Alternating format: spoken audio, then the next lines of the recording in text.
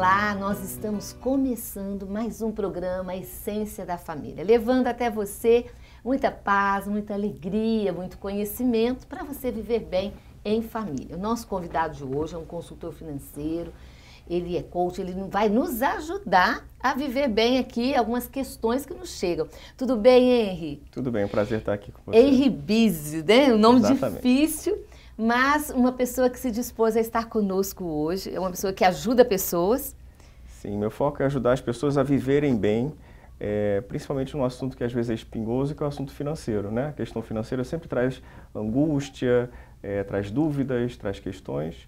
E eu gosto de ajudar as pessoas a transitarem com mais tranquilidade nesse mar de incertezas que é o dinheiro. Ótimo. E como nós sabemos às vezes lidar tão mal, né, com o dinheiro, nós não temos essa consciência, né, de que nós podemos lidar com o dinheiro de uma forma mais tranquila, mais organizada. Vamos aprender hoje algumas questões. Então vamos seguindo com o nosso programa com a pergunta que vai chegar para nós no dia de hoje.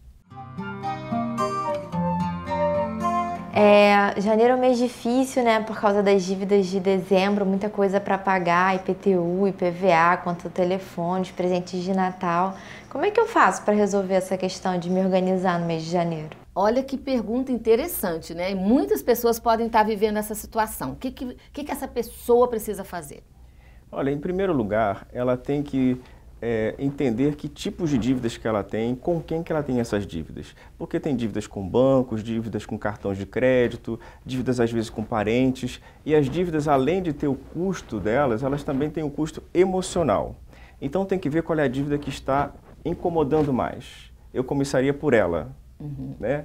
É, nessa época a pessoa. A que incomoda mais é a mais pesada? Tipo assim, é o que. Se eu tiro ela, eu fico sem dinheiro nenhum para pagar nenhuma outra? Nem ou sempre. Na não verdade, sempre. a questão é o seguinte: é, o ideal seria pagar primeiro as dívidas mais caras, as que têm uhum. as taxas de juros mais altas. Porém, existem compromissos que a gente assume que incomodam mais e eles tiram a sua paz de espírito. Uhum. E tirando a paz de espírito, fica mais difícil enxergar com clareza que outras atitudes tomar para equacionar a questão financeira como um todo, porque nunca é só uma coisa isoladamente. Né? É sempre uma questão que levou a esse endividamento, uhum. não é? E que geralmente leva ao endividamento é falta de planejamento.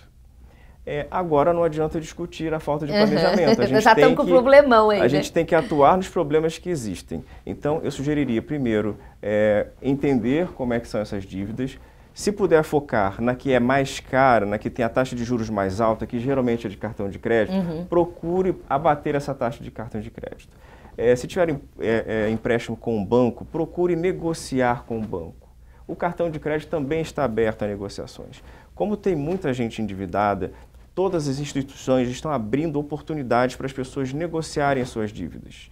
E é então, é o momento importante. é propício, então, para a negociação. Exatamente. Então, quem tem algum dinheirinho guardado, alguma uhum. coisa que sobrou, um décimo terceiro, já pode pensar em abater as dívidas, tá? Isso que eu ia falar, porque agora se recebe décimo terceiro, a pessoa tem que já pensar esse décimo terceiro dentro desse contexto de, de tentar abater, em vez de comprar outras coisas e ficar com essas dívidas? Sim, a gente está no momento que tem Natal, as pessoas estão é, mais sujeitas a um, a um certo consumismo. Uhum. A gente tem que lembrar que o Natal não é para ser uma época de consumo, é uma época de consagração, é uma, uhum. é uma época de estar com a família, de estar com as pessoas que a gente gosta, que a gente realmente quer bem. Ótimo. Mais importante do que os presentes que podem estar é, é, que as pessoas estão esperando, ou que se, se obriga, uhum. né, é uma obrigação social presentear.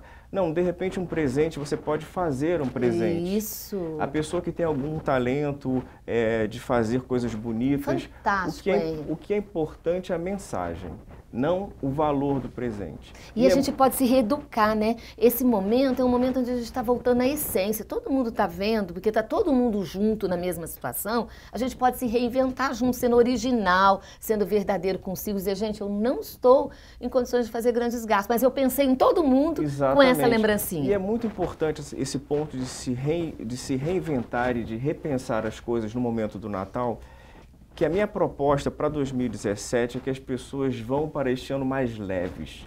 Não carreguem para 2017 o peso de 2016, que foi um ano muito difícil em diversos aspectos, e não estou falando apenas do aspecto é, financeiro, econômico uhum. e político. Uhum. Foi um ano muito difícil, com muitas coisas que foram muito difíceis.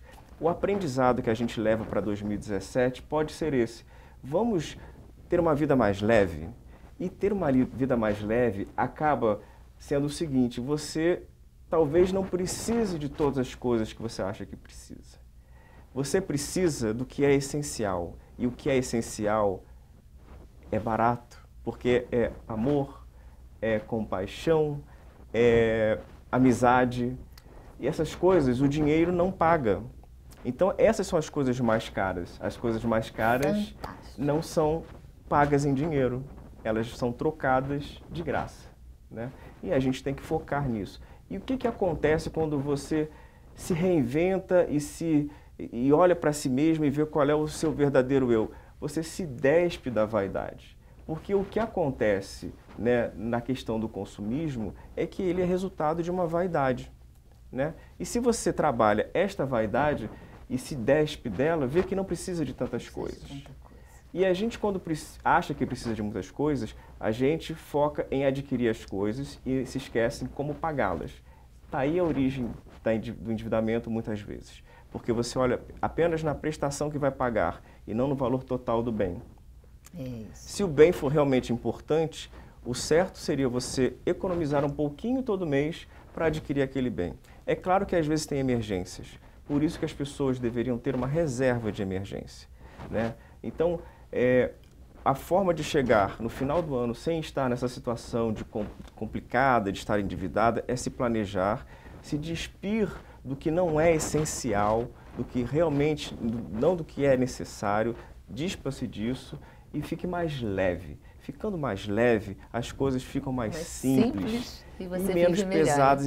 E, e aí é quase que um, é um ciclo vicioso, vir, desculpa, é um ciclo virtuoso em que as coisas vão melhorando passo a passo, pequeno a pequeno, e é assim que as coisas melhoram, faz uma diferença grande na sua vida, melhorando aos poucos. A gente às vezes espera grandes, né? É, grandes soluções, grandes é, é, transformações, mas elas começam com pequenas atitudes. Né? E a atitude primordial é a simplicidade, é se despir do que não é essencial, e aí isso daí resulta numa maior economia. Nós vamos agora à dica do dia de hoje.